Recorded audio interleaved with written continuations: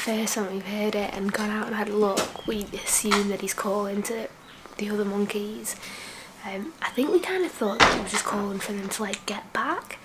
Um, and then the owner of the place that we're staying in, Shamela, she's a lovely lady, but someone that you don't really want to cross. We're just seen her walking out from some of the other rooms with this big shotgun in her hand. Not a shotgun. It's a tiny little pellet gun. That was an exaggeration. Not a tiny little pellet gun, but This big, big gun like this big. not a shotgun. Anyway, she walked out with this gun in her hand and started shooting into the trees. Um, I think she doesn't want a guest. It's pretty early. It's like quarter past six, so she doesn't want a guest to be woken up by the monkeys. And she's t- she told us that the monkey cries out like that when there's danger. So most likely she thinks there's some sort of leopard in the area, which is crazy. So he keeps shooting at the monkeys. The monkeys, I don't know if you can still hear it, but the monkey's still making the noise. So she's given up and she said the monkey's obviously terrified. He's still making the noise, even though I've been shooting at him. So there's obviously some sort of real danger. So we're heading out in a minute. And we're gonna have to be careful of these leopards. Uh, I think I think we should be more careful about ladies walking around with shotguns.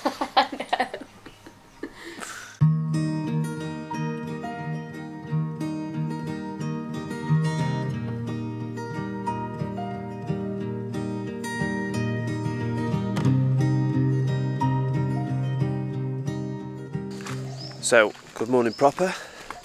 Um, we were up early this morning because we know that on the other side of the river from where we're staying on Hampi Island, they have a temple where they keep an elephant. And we know that between seven and eight o'clock, they bring that elephant down to the river and give him a nice little scrub a dub in the river. Whoa, nearly fell over.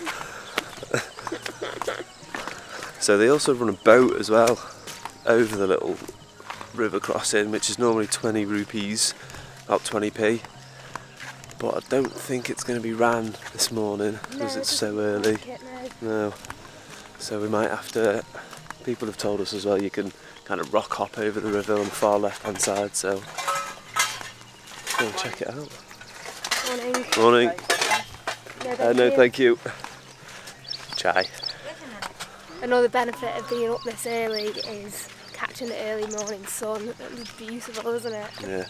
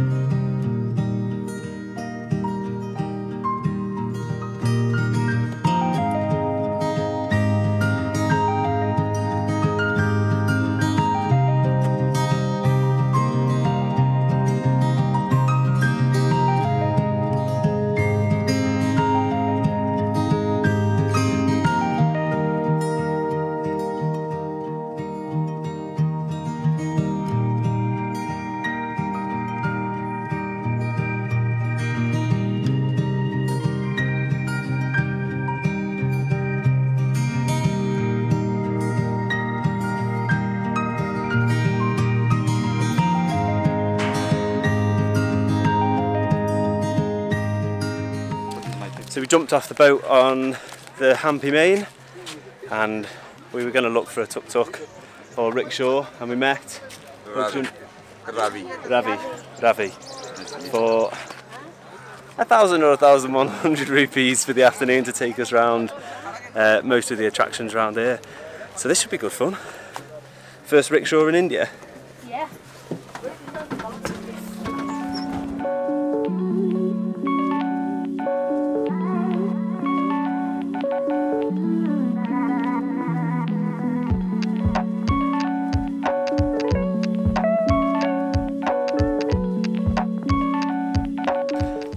Try and spew out information Ravi's just given us. Pass it off on our own Pass it knowledge. off, yeah, we know about this.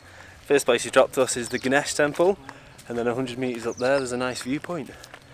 This was carved out of one piece of stone, he said.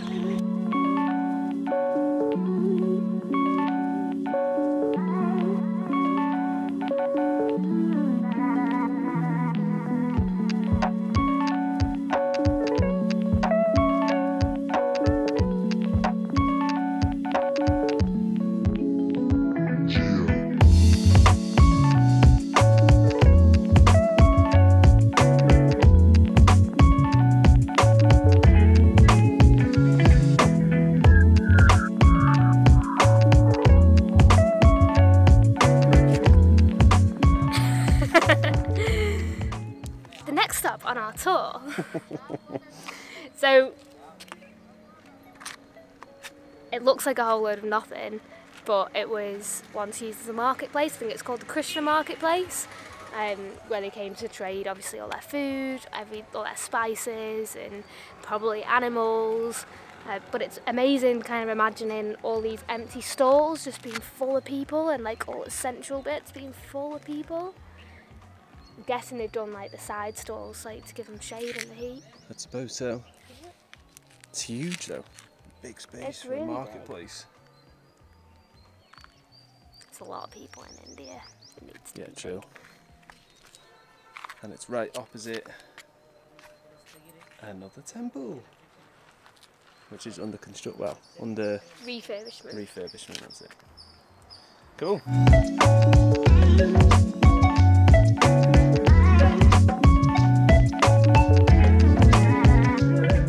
No idol in this temple, but no, it's um got loads of carvings and like depictions, like telling stories of like Lord Rama.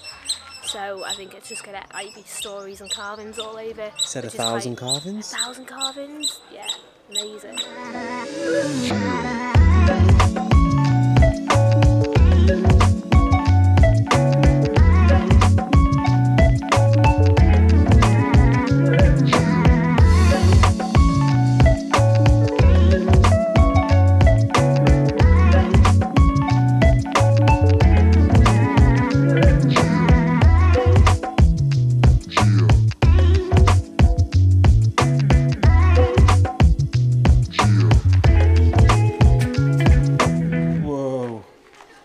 wild elephant in the elephant stables.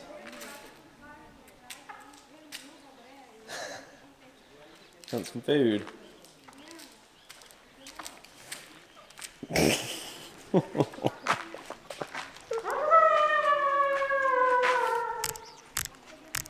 I fool you? Yeah, completely and utterly tricked. The stables aren't too bad, really. Thinking about like animal cruelty and stuff, I think they were quite well looked after. Yeah? Like the, the Indian elephants aren't as big as African elephants, so the space is, I think, good enough.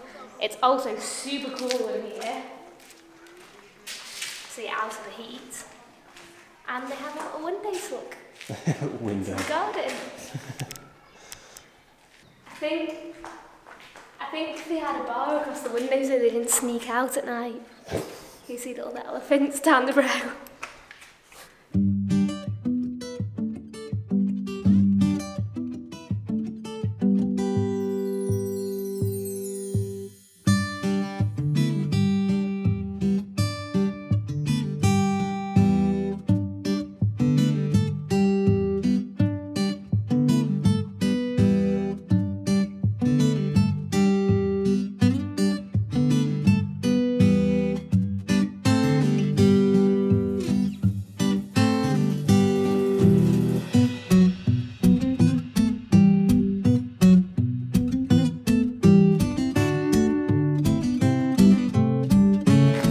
Found, found yourself some fangirls. She was so sweet. um, but another temple, The last. the last temple. I don't think that's the actual name for it, but it's the last temple for us. No, it's um again one of the main attractions in Hampi. It's got this giant um, stone chariot, and it's actually one of the busiest places we've come to today. But it's still not that busy, so it's quite nice. Super nice. stone chariot.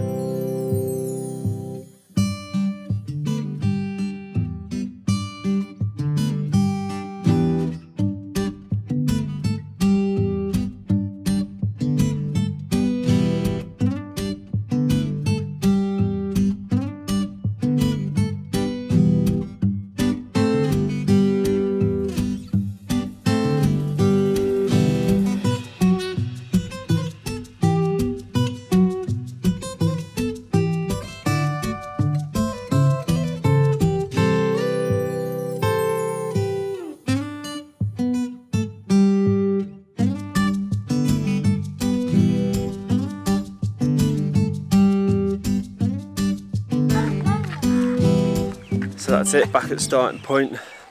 We've had a wicked day today, it's been great fun. So I'm trying to figure out how to get down to the boat. I think it's been really good. Priya's doing a bit of shopping by the way, so she's not with me. Um, I think it's been really good getting the rickshaw actually. I think we paid a thousand in the end, thousand rupees, which is like 10, 10 pounds, so we got like two pound an hour. That's pretty good. Took the stress out for took the stress out of it for us and uh, I think because we only had half a day to finish with, because after we had breakfast and stuff, it wasn't until past 12 that we got over here. If I was going to come and do a full day, might be nice to get the bicycles out and just, yeah, cycle around it really. So I hope you've enjoyed it.